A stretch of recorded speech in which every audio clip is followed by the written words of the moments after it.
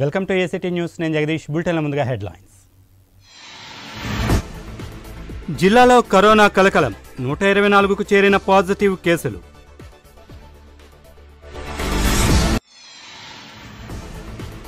వెంకన్న లడ్డూలకు విశేష ఆదరణ. ఈ నెల ఏడవ తేదీ వరకు విక్రయాల గడువు పెంపు.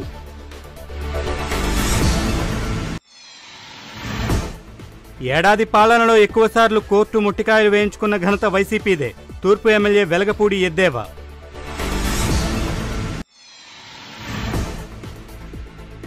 స్వస్థలాలకు ప్రవాసాంధ్రులు కుటుంబాల్లో వెల్లివిరిసిన ఆనందం.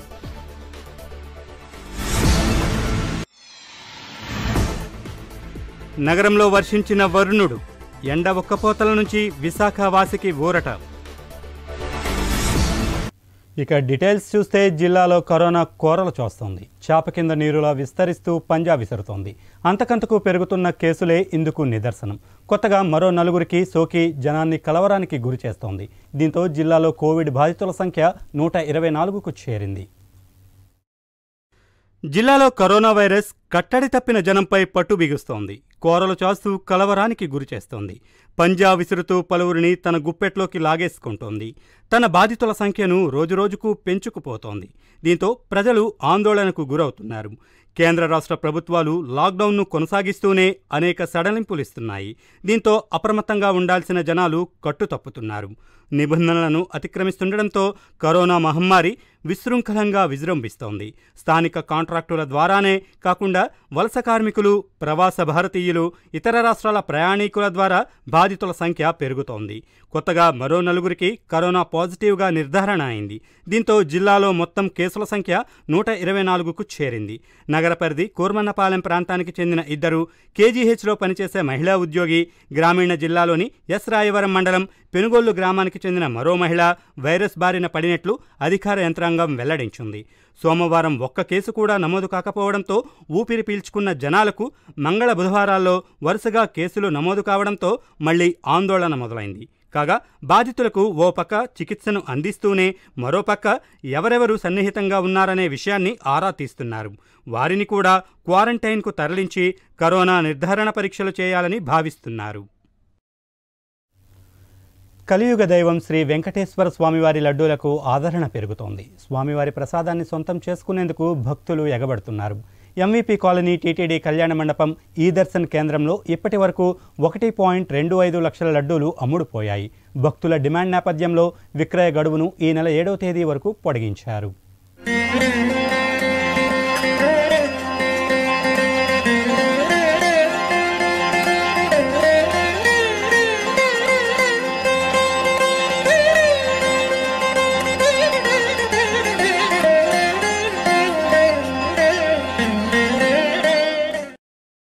కరోనా ఎఫెక్ట్ దేవుళ్ళ దర్శనాలపైన పడింది. భక్తులను తమ ఇష్టదైవాలకు దూరం చేసింది.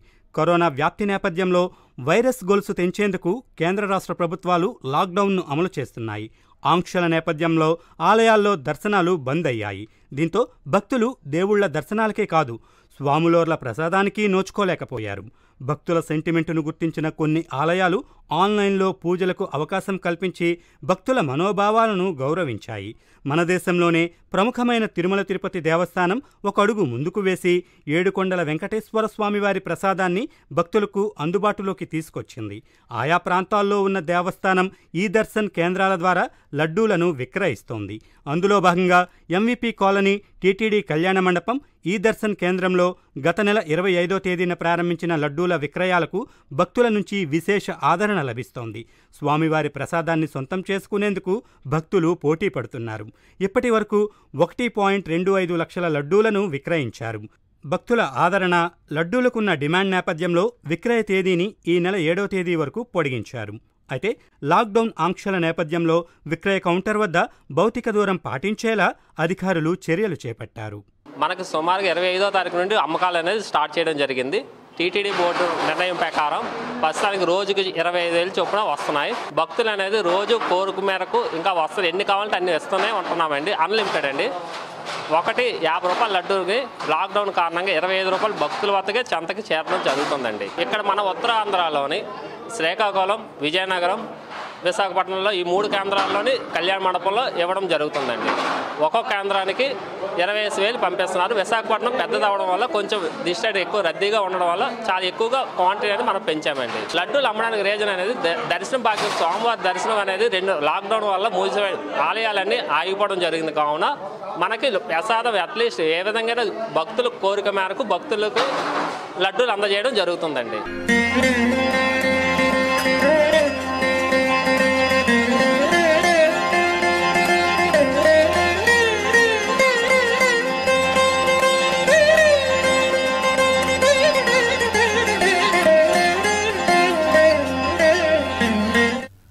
అత్యధిక శాతం కోర్టు నుంచి చేవాట్లు తిన్న ప్రభుత్వంగా వైసీపీ రికార్డు సృష్టించిందని విశాఖ తూర్పు ఎమ్మెల్యే వెలగపూడి రామకృష్ణబాబు ఎద్దేవా చేశారు.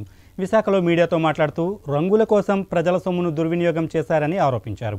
కోర్టు ఆదేశంతో ఇప్పుడు వైసీపీ తన సొంత సొమ్ముతో రంగులను తొలగించాల్సిన పరిస్థితి ఏర్పడిందని చమత్కరించారు. ఎప్పటికైనా ప్రభుత్వం తన తీరు మార్చుకోవాలని హితవు పలికారు. ఈ సచివాలయాలకి రంగులు పంచాయతీ ఆఫీసులకు రంగులు శ్మశానం గోడలకు రంగులు బోర్లకు రంగులు అన్నిటికీ వైసీపీ జెండా రంగులే. హైకోర్టు మొట్టిగా లేస్తే ఇంకో రంగు చేర్చి జెండా రంగు కాదన్నారు. సుప్రీంకోర్టు నాలుగు వారాల్లో రంగులన్నీ మారమని చెప్పింది. నాలుగు వారాల్లో కనుక రంగులన్నీ మార్చకపోతే కోర్టు ధిక్కారం కింద వస్తుందని కూడా చెప్పడం జరిగింది. దయచేసి ప్రజల అధికారం ఇచ్చారని చెప్పి న్యాయ వ్యవస్థని రాజ్యాంగాన్ని ధిక్కరించకుండా పరిపాలన చేయవలసిన బాధ్యత జగన్మోహన్ రెడ్డి గారి మీద ఉంది. భారతదేశంలో ఈ రోజు వరకు నాకు తెలిసి అరవై ఐదు సార్లు హైకోర్టు కానీ సుప్రీంకోర్టు కానీ మొట్టికాయలు వేయించుకున్న ప్రభుత్వం ఏదైనా ఉందంటే జగన్మోహన్ రెడ్డి గారి ప్రభుత్వమే. ఇప్పుడు మీ బాబు గారు సొమ్మని చెప్పి ప్రభుత్వం డబ్బులతో రంగులేశారు వీటన్నిటికీ. ఇప్పుడు వైఎస్ఆర్ పార్టీ ప్రభుత్వం డబ్బు అంటే ఎవరిదండి? ప్రజల డబ్బు అది. మరలా నువ్వు రంగులు మార్చాలంటే ప్రభుత్వం నువ్వు మంచివాడు అయితే ప్రభుత్వం డబ్బు వాడకుండా వైఎస్ఆర్ పార్టీకి నల్లధనం చాలా ఉంది మీ దగ్గరే లక్ష కోట్లు ఉంది. ఆ డబ్బులు తీసి రంగులు మార్చమని చంద్రబాబు నాయుడు గారు కోరారు. ప్రజల పక్షాన్ని కూడా నేను కూడా అదే కోరటం జరిగింది. ఉన్నత చదువులు ఉపాధి ఉద్యోగాల కోసం విదేశాలకు వెళ్ళి కరోనా లాక్డౌన్లో చిక్కుకుపోయిన ప్రవాస భారతీయులు స్వదేశానికి చేరుకుంటున్నారు. కేంద్ర రాష్ట్ర ప్రభుత్వాల చొరవతో వందే భారత్ మిషన్ పేరిట ప్రవాస భారతీయులను సొంత ఊళ్ళకు చేరుస్తున్నారు. ఇందులో భాగంగా జల వాయు మార్గాల్లో వందలాది మంది ప్రవాసాంధ్రులు విశాఖ చేరారు.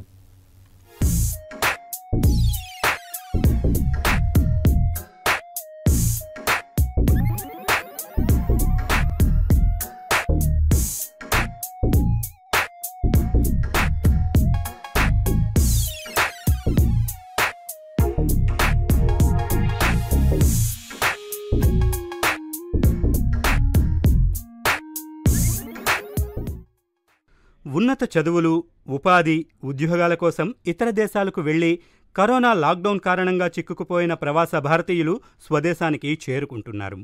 వందే భారత్ మిషన్ పేరిట ప్రవాస భారతీయులను దేశానికి చేర్చేందుకు కేంద్ర రాష్ట్ర ప్రభుత్వాలు ప్రత్యేక విమానాలతో పాటు తూర్పు నావికాదళ యుద్ధనౌకలను సిద్ధం చేసింది. ఇందులో భాగంగా ఐఎన్ఎస్ జలస్వ యుద్ధనౌక ఇటీవల మాల్దీవ్స్ నుంచి వలస కూలీలు ప్రవాసాంధ్రులను విశాఖ పోర్టుకు చేర్చగా ఇటీవల రెండు ప్రత్యేక విమానాల్లో అబుదాబి మనీల నుంచి వందలాది మంది తెలుగు రాష్ట్రాల ప్రవాస భారతీయులు స్వదేశానికి చేరుకున్నారు. తాజాగా కువైట్ నుంచి నూట ఇరవై మంది ప్రవాసాంధ్రులు విశాఖ విమానాశ్రయానికి చేరుకున్నారు. ఎయిర్పోర్టులో సుమారు గంటన్నర పాటు అధికార యంత్రాంగం వీరికి కరోనా స్క్రీనింగ్ టెస్టులు నిర్వహించి ప్రత్యేక బస్సుల్లో సొంత ఊళ్ళకు పంపించారు. Thank you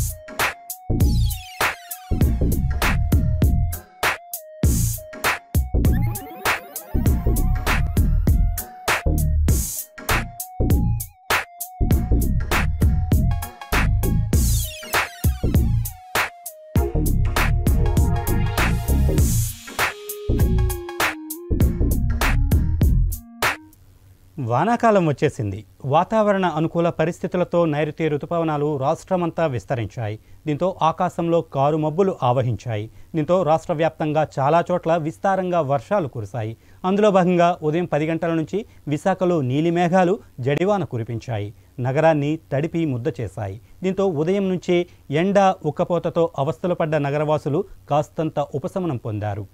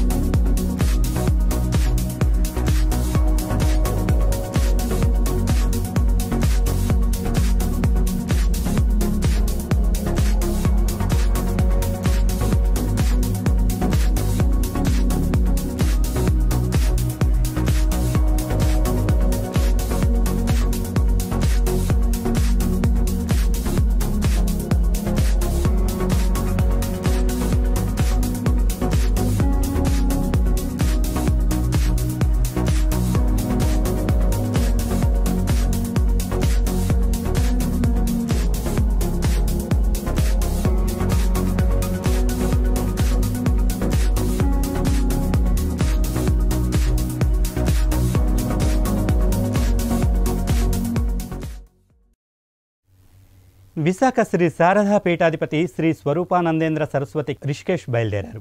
ఏటా ఈ సమయంలో స్వామి చాతుర్మాస్య దీక్ష చేపడుతుండడం తెలిసిందే. అందులో భాగంగా ఈ ఏడాది చాతుర్మాస్య దీక్షలో పాల్గొనేందుకు విశాఖ విమానాశ్రయానికి చేరుకున్నారు. అక్కడి నుండి ప్రత్యేక విమానంలో డెహ్రాడూన్కు బయలుదేరి వెళ్ళారు. ఆ తర్వాత హరిద్వార్ రిషికేష్లకు వెళ్ళి చాతుర్మాస్య దీక్షలో పాల్గొంటారు.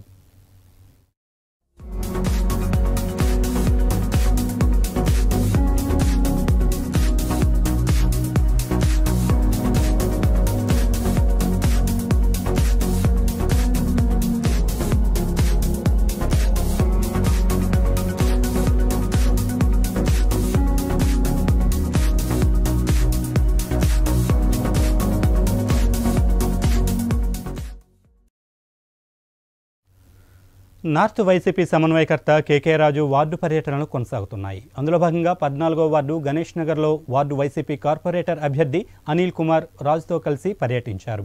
గణేష్ నగర్ వాసుల సమస్యలను అడిగి తెలుసుకున్నారు. స్థానిక గణేష్ సేవా సంఘంతో సమావేశమయ్యారు. వారి సమస్యలను తెలుసుకున్న రాజు జీవీఎంసీ అధికారుల దృష్టికి తీసుకువెళ్ళి నిర్మాణాలకు ఎలాంటి ఇబ్బందులు లేకుండా సమస్య పరిష్కారానికి కృషి చేస్తానని హామీ ఇచ్చారు.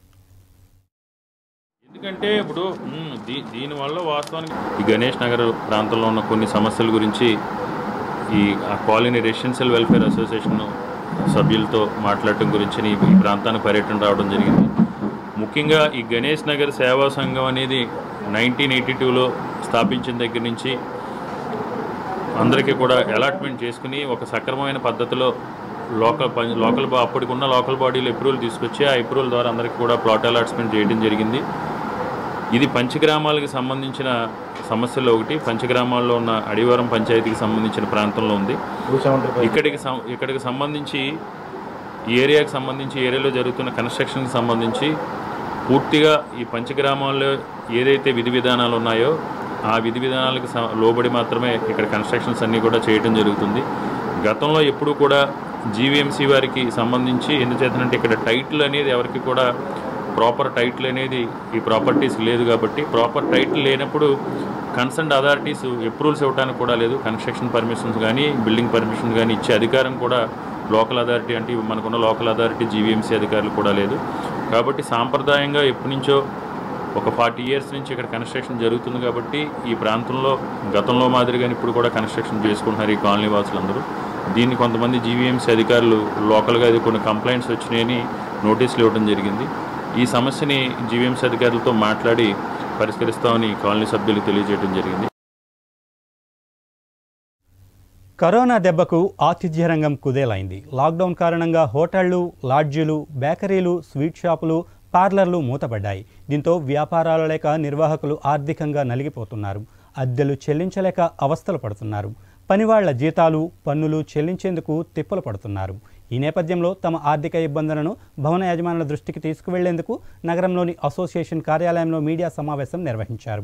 అద్దె చెల్లింపుల విషయమై భవన యజమానులు మానవతా దృక్పథంతో వెసులుబాటు కల్పించాల్సిందిగా అసోసియేషన్ అధ్యక్షులు సిఎస్ఎస్ రాజు విజ్ఞప్తి చేశారు.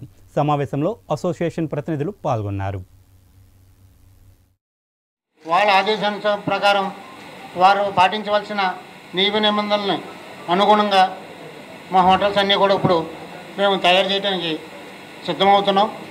ప్రతి మా హోటల్లో పనిచేసే వర్కర్లకి ప్రతి నిమిషం అంటే ఏదో ఓ టైంలో ఉండి ఓ టైంలో కాకుండా ప్రతి నిమిషం వాళ్ళకి మాస్క్ కానీ హెడ్ క్యాప్ కానీ హ్యాండ్ గ్లౌజెస్ కానీ ఎట్టి పరిస్థితుల్లో ఉండేటట్టు మేము ఆదేశాలు ఇస్తున్నాం.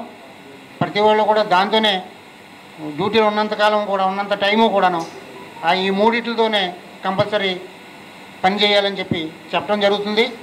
అలాగే ప్రతి గంట గంటకని చేతులు కూడా చేతులు చే- చేతి వరకు వాష్ చేసుకోమని ఫేస్ వాష్ చేసుకోమని మేము ఆదేశాలు ఇవ్వడం జరిగింది.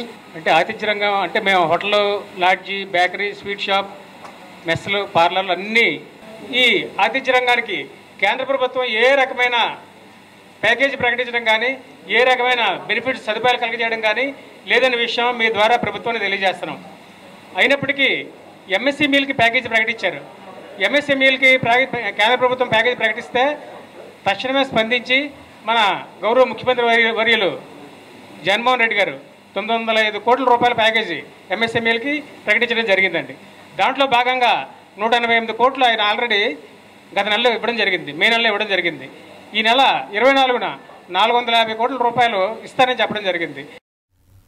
నగరం ఐదో విడత లాక్డౌన్లో ఉంది. అయినా కేంద్ర రాష్ట్ర ప్రభుత్వాలు సడలింపులు ఇచ్చాయి ఇందులో నిబంధనల మేరకు ఆటోలను నడిపేందుకు అనుమతినిచ్చాయి. దీంతో ఆటో వాలాలకు ఆశించిన విధంగా బతుకుబండి సాగడం లేదు.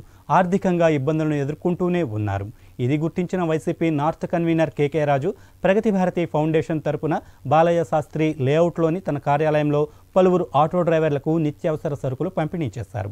ఈ సందర్భంగా ఆయన మాట్లాడుతూ నిబంధనలకు లోబడి ఆటోలు నడపడం వల్ల ఆటో వాలాలు ఇబ్బందులు పూర్తిగా సమసిపోలేదని అందువల్ల ఉడతా భక్తిగా ఈ సాయం అందజేసినట్లు తెలిపారు.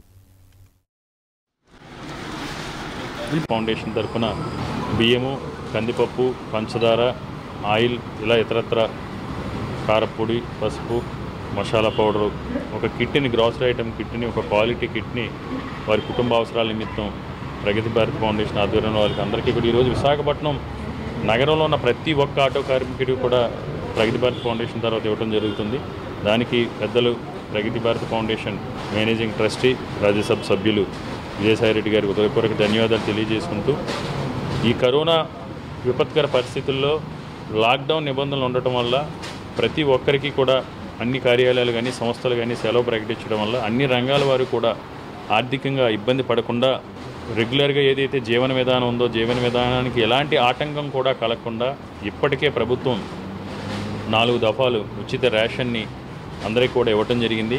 అంతేకాకుండా ప్రతి కుటుంబానికి కూడా వెయ్యి రూపాయల నగదు ప్రో నగదు నగదు ప్రోత్సాహాన్ని ఇవ్వడంతో పాటు ప్రతి నెల ఇచ్చే సంక్షేమ పథకాలు ఎక్కడ ఆటంకం లేకుండా గతంలో కంటే ఇంకా ముందుగా షెడ్యూల్ టైం కంటే ముందుగానే సంక్షేమ పథకాలని వార్డు వాలంటీర్ల ద్వారా లబ్ధిదారు యొక్క గుమ్మం దగ్గరికే గడప వద్దకే చేర్చి సంక్షేమ పథకాలని అందించడం అంటే ఇలాంటి పరిస్థితులు ఆషామాషి విషయం కాదు.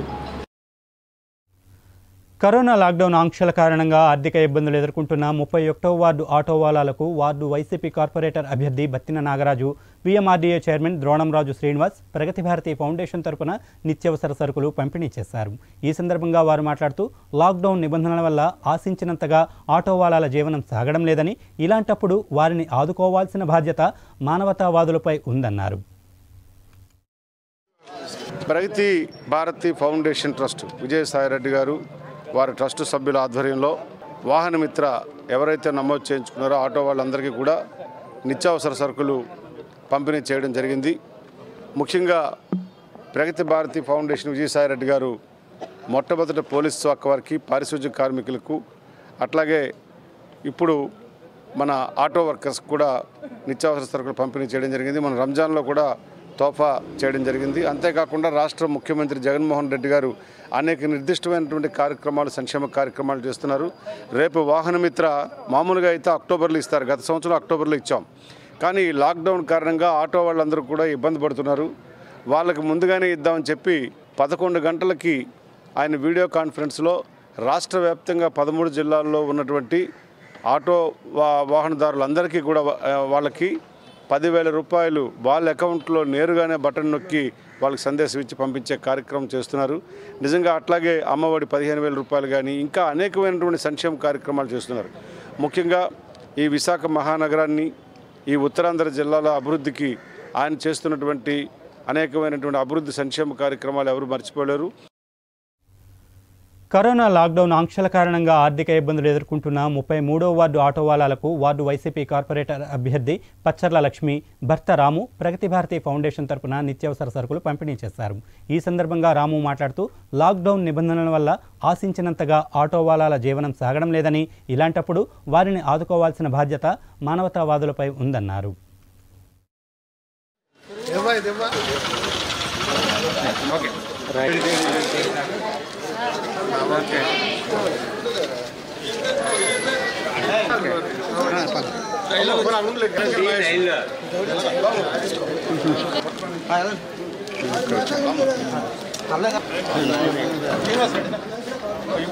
జగన్మోహన్ రెడ్డి గారి ఆదేశాల మేరకు మా ముప్పై మూడో వార్డులో నూట యాభై ఎనిమిది మందికి వాహనదారులందరికీ కూడా పదిహేను వేల రూపాయలు పడే ఏర్పాట్లు అయ్యాయి. విజయసాయి రెడ్డి గారు వాళ్ళ ఫౌండేషన్ ద్వారా నూట యాభై మందికి తోఫా ఇవ్వడం జరిగింది. ఇక్కడ ఆటో డ్రైవర్లు చాలా బాధలు పడుతున్నారు దేశం ఉద్దేశం మీద అదేవిధంగా ప్రభుత్వం ఎన్నో కార్యక్రమాలు చేస్తుంది. ఆ ప్రభుత్వ కార్యక్రమాన్ని కూడా ప్రజలందరూ కూడా సద్వినియోగం చేసుకోవాలని ప్రజలందరికీ మా ముప్పై మూడో వార్డు అందరికీ చెప్తున్నాం. ఎటువంటి ఇల్లుల్లో మోసపోకండి. ఎంతమంది మోసపోయారు ఇల్లుల్లో. ఇప్పుడు ఎవరు కూడా ఇల్లుల్లో మోసపోకండి. అందరూ కూడా ఉచితమైన ఇల్లులు ఇస్తున్నాం. ఉచితమైన ఇల్లులు కట్టి ముందు నడిపించే ఏర్పాట్లు చేస్తున్నాం. కాబట్టి ఈ విషయాలన్నీ కూడా మీరు గమనించి ప్రతి ఒక్కరు కూడా జగన్మోహన్ రెడ్డి గారి చేదోడుగా ఓదోడుగా ఉండి ముందుకు నడిపించండి. అలాగే మరి భారతదేశంలో ఈరోజు నాలుగో స్థానంలో మన చీఫ్ మినిస్టర్ గారు ఉన్నారంటే మనకు చాలా సంతోషం. తూర్పు ఎమ్మెల్యే వెలగపూడి రామకృష్ణబాబుపై సోషల్ మీడియా ద్వారా తప్పుడు వార్తలను ప్రసారం చేస్తున్న వారిపై పోలీసులు చర్యలు తీసుకోవాలని టీఎస్ఎస్ఎఫ్ జిల్లా అధ్యక్షులు ప్రణవ్ గోపాల్ డిమాండ్ చేశారు. అర్బన్ జిల్లా టీడీపీ కార్యాలయంలో ఆయన మీడియా సమావేశంలో మాట్లాడారు. ఇదే విషయమై ఎంవీపీ జోన్ పోలీస్ స్టేషన్లో పలుమార్లు ఫిర్యాదు చేసినప్పటికీ పోలీసులు స్పందించకపోవడం శోచనీయమన్నారు. అధికార పక్ష నాయకుల కేసులపై వేగంగా స్పందించే పోలీసులు ప్రతిపక్ష నాయకుల కేసులపై ఎందుకు స్పందించడం లేదని ప్రశ్నించారు.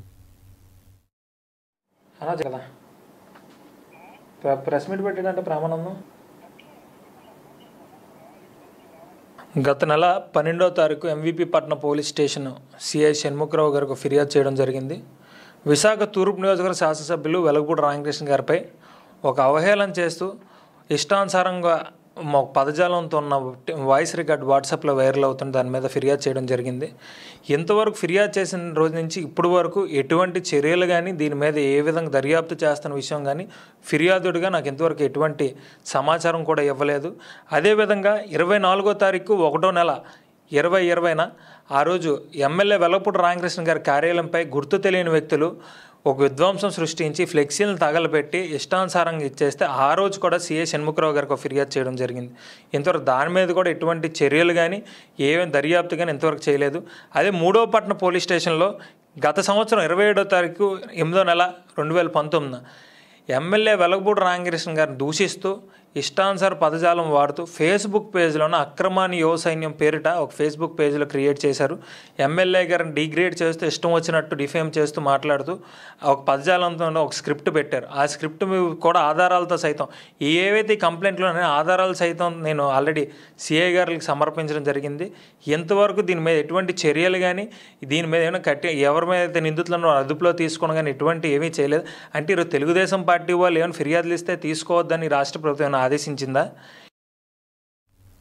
ఐదో విడత లాక్డౌన్లో ప్రభుత్వాలు ఆంక్షలను సడలించి నిబంధనల మేరకు ఆటోలను నడిపేందుకు అనుమతినిచ్చాయి. దీంతో ఆటో వాలాలకు ఆశించిన విధంగా బతుకుబండి సాగడం లేదు. ఆర్థికంగా ఇబ్బందులను ఎదుర్కొంటూనే ఉన్నారు. ఇది గుర్తించిన ముప్పై ఐదో వార్డు వైసీపీ కార్పొరేటర్ అభ్యర్థి అలుపున కనకారెడ్డి విఎంఆర్డీఏ చైర్మన్ ద్రోణంరాజు శ్రీనివాస్ చేతుల మీదుగా స్థానిక ఆటో డ్రైవర్లకు నిత్యావసర సరుకులు పంపిణీ చేశారు.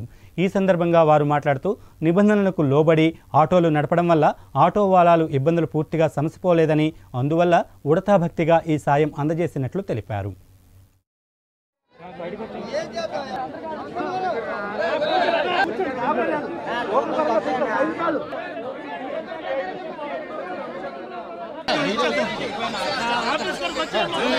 పాత ఇరవై ఆరు కొత్త ముప్పై ఐదో వార్డు ప్రసాద్ గార్డెన్స్ కళ్ళుపాకలు పండావీధి వెలంపేట దుర్గాలమ్మ గుడి ఈ ప్రాంతాల్లో ఉన్నటువంటి ఆటో సోదరులందరికీ కూడా ప్రగతి భారతి ఫౌండేషన్ ట్రస్ట్ విజయసాయి రెడ్డి గారి ఆధ్వర్యంలో ముఖ్యమంత్రి గారి ఆదేశాల మేరకు ఇవ్వడం జరిగింది. అలాగే గత సంవత్సరం వాహనమిత్ర పేరు మీదుగా పదివేల రూపాయలు గత అక్టోబర్లో వేశారు. ఈ లాక్డౌన్ సందర్భంగా రేపు ఆటో సోదరులందరికీ కూడా రేపు పదకొండు గంటలకు ముఖ్యమంత్రి గారు పదివేల రూపాయలు వాళ్ళ అకౌంట్లో వేయబోతున్నారు. ఇది చాలా శుభసూచకం ఇక్కడ ఎవరైతే వైఎస్ఆర్సీపీ అభ్యర్థి పోటీ చేస్తున్నారో కనకరెడ్డి గారిని అక్కడ మెజార్టీతో గెలిపించగలిగితే రేపు ప్రతి ఒక్కరికి కూడా ఇల్లు కానీ లేదా పెన్షన్స్ కానీ ప్రభుత్వ కార్యక్రమాలన్నీ కూడా చేయగలుగుతారు. దయవుంచి ప్రతి ఒక్కరు కూడా ఈ రాష్ట్రంలో సంవత్సర కాలంలో జగన్మోహన్ రెడ్డి గారు ముఖ్యమంత్రిగా సాధించినటువంటి ప్రగతి పేదవాళ్ళ గురించి నిరంతరం తపన చెందినటువంటి నాయకుడు అందుగురించే పేదల హృదయాల్లో చిరస్థాయిగా ఉన్నాడు. ఒక అమ్మఒడి కానీ మత్స్యకారులకు పదివేలు కానీ ఇట్లాంటి అనేకమైనటువంటి సంక్షేమ సంక్షేమ కార్యక్రమాలు చేస్తున్నటువంటి ముఖ్యమంత్రి యొక్క ఆయనకి అన్ని రకాలుగా ఆయుర ఆరోగ్య ఐశ్వర్యాలు ఉండాలని మనసారా కోరుకుంటూ సెలవు తీసుకుంటాం ముప్పైదో ward YSR Congress party ward పరిశ్రమ కొనసాగ సమయంలో వైఎస్ఆర్ కాంగ్రెస్ పార్టీ అధిష్టానం గుర్తించి ఇక్కడ నేను కార్పొరేట్ అభ్యర్థిగా ప్రకటన జరిగింది. ఈ ప్రకటించిన ఒక రెండు మూడు రోజుల్లో కరోనా వైరస్ రావడం జరిగింది. ఈ కరోనా రావడం వల్ల చాలా బాధాకర విషయం. ఈ బాధాకర విషయంలో మా యొక్క ముప్పై ఐదు వార్డులో పేద ప్రజలకు అందుబాటులో ఉంటూ అన్ని వేళలా వాళ్ళకి ఏ కావాలన్నా సహకరిస్తూ వాళ్ళకి ఈ కరోనా నేపథ్యంలో ప్రతి ఇంటి కూడా వెళ్ళెళ్ళి ప్రతి ఇంటికి వెళ్ళి వాళ్ళ యొక్క బాధలు తెలుసుకొని నాతో సాయంగా కొన్ని నా మా సాయంగా కాగులు పంచ జరిగింది. అలాగే ఈ కరోనా నేపథ్యంలో మన ప్రగతి ఫౌండేషన్ చైర్మన్ గారు విజయసారి గారు సహకారంతో ఇప్పుడు రేపు పదకొండు రేపు ఉదయం పదకొండు గంటలకి వాహనమిత్ర కా- కార్మికులకు డబ్బులు పడుతున్న శుభ సందర్భంగా ముందు రోజే మా యొక్క వార్డులో మన విజయసాయి గారి సహకారంతో వాహన సోదరులకు ఇక్కడ కొంతమందికి నిత్యావసర సరుకులు అందించడం జరుగుతుంది. ఈ యొక్క కార్యక్రమ ముఖ్య అతిథులుగా విఎంఆర్ చైర్మన్ వచ్చి వాళ్ళ చేతుల మీదుగా అందజేరింది. ఈ సభాముఖంగా అయితే ఈ పేద ఇక్కడున్న వార్డు వార్డులో ప్రతి పేదవాడు కూడా అందుబాటులో ఉంటూ వాళ్ళకి వాళ్ళకి సహకరిస్తూ అన్ని వేళగా వాళ్ళకి సహాయం చేస్తూ వాళ్ళకి అందుబాటులో ఉంటారని ఈ సభాముఖిని మనం చేస్తాం ఇప్పటి వరకు మనకు అలల సోయగాలతో ఆడుకోవడమే తెలుసు. కానీ సముద్రపు అలలు హోరుగాలులతో విద్యుత్ ఉత్పాదన ప్రక్రియకు విశాఖ సాగర తీరంలో సన్నాహాలు సాగుతున్నాయి.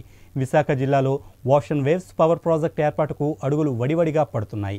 ఈ ప్రాజెక్టును ప్రయోగాత్మకంగా నాలుగు ప్రధాన సంస్థలు చేపట్టనున్నాయి. దేశంలోనే మొట్టమొదటి ప్రయోగాత్మక ప్రాజెక్టుకు విశాఖ జిల్లా వేదిక కానుంది. సముద్రపు అలలు గాలుల నుంచి విద్యుత్ను ఉత్పత్తి చేసే ఓషన్ వేవ్స్ పవర్ ప్రాజెక్టుకు నాలుగు ప్రధాన సంస్థలు సన్నాహం చేస్తున్నాయి. తీర ప్రాంత మత్స్యకార గ్రామాల్లో వెలుగులు నింపడంతో పాటు ప్రాంతాల అభివృద్ధి విద్యుత్ ఉత్పాదనకు ప్రణాళికలు సిద్ధమవుతున్నాయి. స్థల అన్వేషణ ప్రారంభించిన ప్రభుత్వం విశాఖ జిల్లా నక్కపల్లి సముద్ర ప్రాంతంలో డెబ్బై కోట్లతో పవర్ ప్లాంట్ ఏర్పాటు చేసేందుకు ప్రముఖ సంస్థలతో ఒప్పందం కుదుర్చుకుంది. అలల గాలుల నుంచి విద్యుత్ ఉత్పాదన చేయడమే కాకుండా ఉప్పు నీటిని మంచినీటిగా మార్చే డీశాలినేషన్ ప్లాంట్ కూడా ఈ సరికొత్త ప్రాజెక్టులో భాగం కానుంది. రాష్ట్ర పునరుత్పాదక ఇంధన వనరుల శాఖ నెట్క్యాప్ Bharat Heavy Electrical Limited BHEL Indian Technology IIT Madras Institute of Information Technology ఏఎన్ఐఐటి Chennai సంస్థల సంయుక్త ఆధ్వర్యంలో ప్రాజెక్టు ఏర్పాటుకు సన్నాహాలు సాగుతున్నాయి. ఈ ప్రాజెక్టు ద్వారా నాలుగు మెగావాట్ల విద్యుత్ ఉత్పాదన చేయాలన్న లక్ష్యంగా నిర్ణయించుకున్నారు. ప్రాజెక్టుకు ఈ నెలాఖరు నాటికి తుదిరూపు రానుంది. ఇక్కడ విజయవంతమైతే రాష్ట్ర వ్యాప్తంగా ఉన్న సాగర తీర ప్రాంతాల్లో మరిన్ని ప్రాజెక్టులు రానున్నాయి. విశాఖ సాగర తీరాన సందర్శకులను సేదతీర్చాల్సిన కొబ్బరి మొక్కలు మూడు వారుతున్నాయి. కరోనాకు వాతావరణ మార్పులు తోడవడంతో వాటి ఆకులు ఎండి రాలిపోతున్నాయి. దీంతో పచ్చదనంతో కళకళలాడాల్సిన బీచ్ కళావిహీనమైంది. విశాఖకు బీచే అందం. ఆ బీచ్కు కొబ్బరి తోటలు మరింత అందం. ఇది రెండు నెలల కిందటి మాట. ఆహ్లాదాన్ని పంచే ఆ మొక్కలు ఇప్పుడు ఎండ తీవ్రతకు ఎండిపోతున్నాయి. కొన్నైతే ఆకులు రాలి మూడువారాయి అలాగే ఫుట్పాత్లపై తొట్టిల్లో నిగనిగలాడుతూ కనిపించే మొక్కలు ఇప్పుడు మచ్చుకు కూడా కానరావడం లేదు. ఫలితంగా పచ్చదనంతో అలరాలవలసిన బీచ్ రోడ్డు కల తప్పుతోంది తీరాన్ని ఆనుకొని ఇసుక తిన్నెలపైన సందర్శకులను అలరించేలా సన్రే రిసార్ట్స్ కొంతకాలం కిందట ఈ వనాలను అభివృద్ధి చేసింది. లాక్డౌన్ కారణంగా కూలీలు అందుబాటులో లేకపోవడం ఉన్న సిబ్బంది కరోనా విధుల్లో నిమగ్నం కావడం వాతావరణంలో చోటు చేసుకున్న మార్పుల కారణంగా వీటి సంరక్షణ గాడి తప్పింది. దీంతో వాటి కొమ్మలు ఎండి రాలిపోయి మూడువారి దర్శనమిస్తున్నాయి. వాటిలో సేద తీరుతూ సముద్ర అందాలను తిలకిద్దామనుకున్న వారికి నిరాశను మిగిలిస్తున్నాయి. ఇప్పటికైనా జీవీఎంసీ ఉద్యానవన విభాగం అధికారులు వాటి సంరక్షణపై దృష్టి సారించి పూర్వ వైభవం తీసుకొచ్చేలా చర్యలు తీసుకోవాలని బీచ్ సందర్శకులు విజ్ఞప్తి చేస్తున్నారు. అయితే ఎప్పుడు ఇక్కడ బీచ్ రోడ్ లాక్డౌన్ కారణంగా చాలా రోజుల నుంచి రావడం మానేసాం. ఇప్పుడు కొంచెం లాక్డౌన్ ఇది అయ్యాక మేము చూడడానికి వస్తే ఎన్విరాన్మెంట్ కొంచెం ఈ చెట్లు అవి కొంచెం పచ్చదనం పోయి అవి పట్టించుకో ఎవరు పట్టించుకోవట్లేదు. కొంచెం ఆ గ్రీనరీ అది మనకి లేకపోవడం వల్ల బీచ్ బీచ్కి రావాలన్నా కొంచెం ఇదిగా ఇబ్బందిగా ఉంది. ఇది దయచేసి కొంచెం చూసి ఆ గ్రీనరీ అది పెంచి కొంచెం పట్టించుకుంటే పర్యావరణం పొల్యూషన్ అది తగ్గడానికి అవే కారణం అవుతాయి కాబట్టి వాటి మీద కేర్ తీసుకుంటే బాగుంటుందని. టూరిజం కూడా కొంచెం పట్టించుకుంటే వాళ్ళు కూడా ఎంతో బాగుంటుంది. వైజాగ్ మెయిన్ బీచ్ ఇది వల్ల ఇదే కాబట్టి టూ టూరిస్టులు ఎక్కువ వస్తారు కాబట్టి మనం కొంచెం ఇది పట్టించుకుంటే బాగుంటుంది టూరిజం డిపార్ట్మెంట్ వాళ్ళు అని కోరుకుంటున్నాం. చాలా బాగా మొక్కలు పువ్వులు అన్నీ దీనిగా ఉంది. ఈ కరోనా రావడం వల్ల కొన్ని అన్ని రకాలుగా ఇబ్బందులు అయ్యి అది మన జీవీఎంసీ కొంచెం వాళ్ళు పనితీరులోని పనితీరులోని వాటిలోని కొంచెం అంటే ఎలాగా ఇప్పుడు మూమెంట్ అన్నది వేరు కాబట్టి వాళ్ళు చేయవలసినవి చేస్తున్నారు. అయినా ఇంకొంచెం శ్రద్ధ తీసుకుంటే ఇంకా మనకి విశాఖ అందాలు ఇంకా ఎప్పట్లాగే బాగుంటాయి అనేసి ఆలోచనతోనే చెప్పడం జరుగుతుంది. బులెటిన్ ముగించే ముందు హెడ్లైన్స్ మరోసారి. జిల్లాలో కరోనా కలకలం. నూట ఇరవై నాలుగుకు చేరిన పాజిటివ్ కేసులు.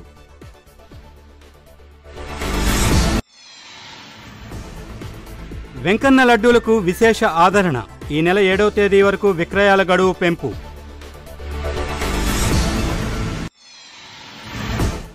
ఏడాది పాలనలో ఎక్కువసార్లు కోర్టు ముట్టికాయలు వేయించుకున్న ఘనత వైసీపీదే. తూర్పు ఎమ్మెల్యే వెలగపూడి ఎద్దేవా.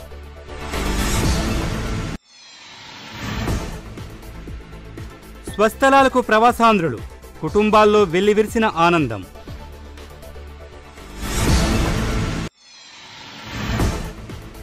నగరంలో వర్షించిన వరుణుడు ఎండ ఒక్కపోతల నుంచి విశాఖ వాసికి ఊరట. ఏసీటీ వార్తలు ఇంతటితో సమాప్తం. నమస్కారం.